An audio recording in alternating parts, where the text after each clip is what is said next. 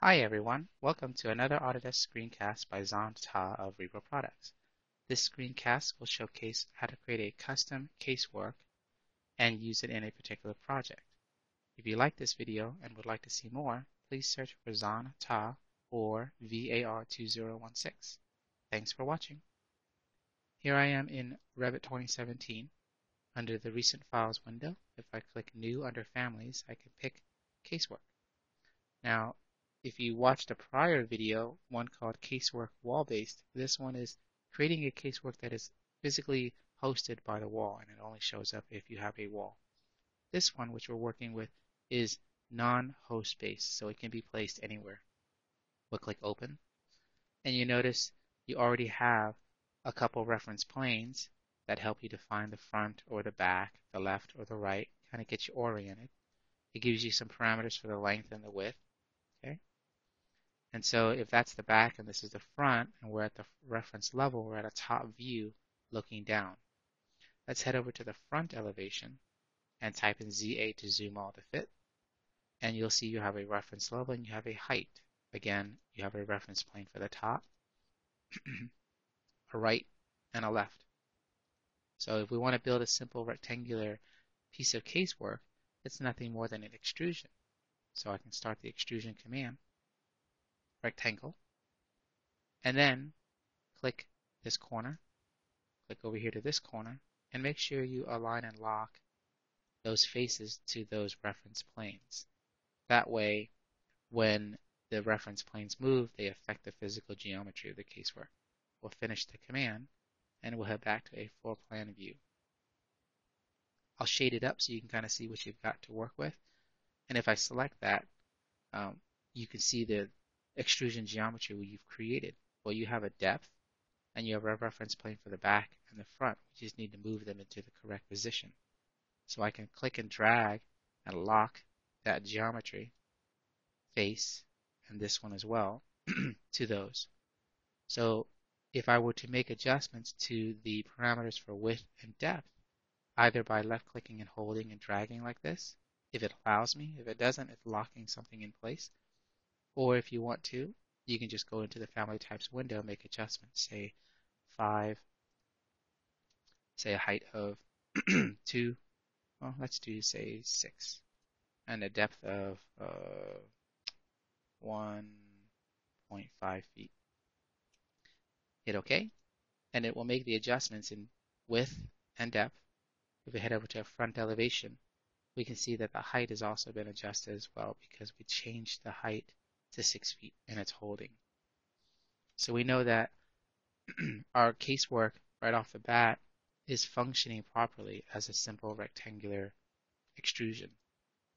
Let's make some adjustments real fast. We'll make the height, uh, say, three feet,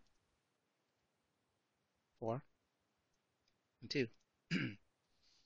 now I'm, I'm in the front elevation, so if I need to create an opening in this box, to be able to host things and, and actually make it look like a piece of casework.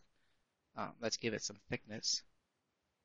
So I'll create a reference plane for the left, for the right, for the top, and the bottom. We'll dimension to those planes.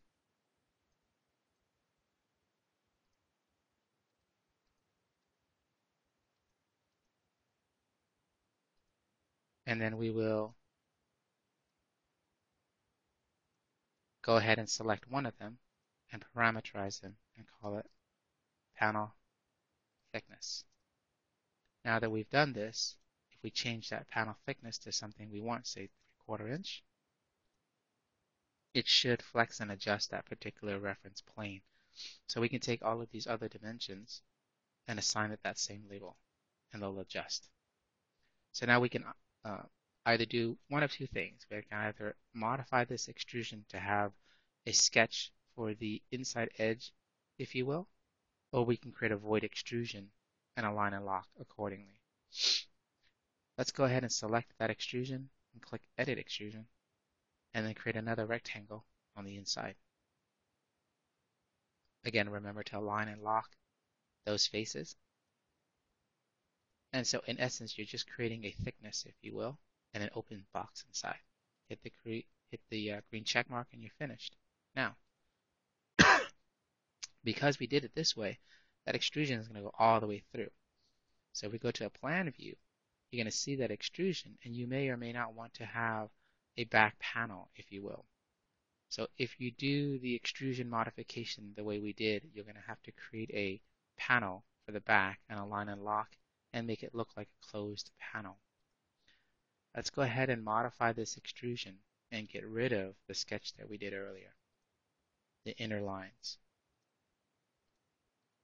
And now I'm going to head to the front elevation and this time I'm going to use the create tab and create the void extrusion instead. and again using the rectangle.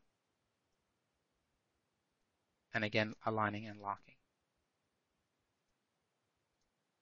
We'll finish it. We'll head over to the plan view and you'll notice that that extrusion, which is a void extrusion, can also be modified and adjusted. We want a reference plane for the back to represent the thickness as well and we'll dimension that and make sure that we also assign it that panel thickness. Now this extrusion can then be pulled and placed exactly where we need, the back and the front. And if we look at this in 3D, you'll see you have a back panel already built and that void extrusion is cutting into the solid extrusion.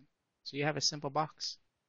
Again, you can create the doors as separate families and load them in and align and lock them accordingly.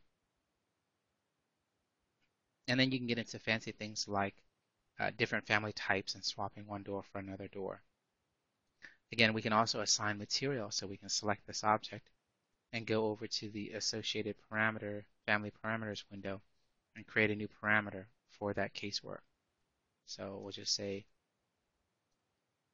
casework material and hit OK. Hit OK. Head over to the Family Types window and click inside for the casework material and just use wood oak, for example. Now if we go to a realistic view, you see what it looks like. We'll save this as a family and we'll call it custom casework 1.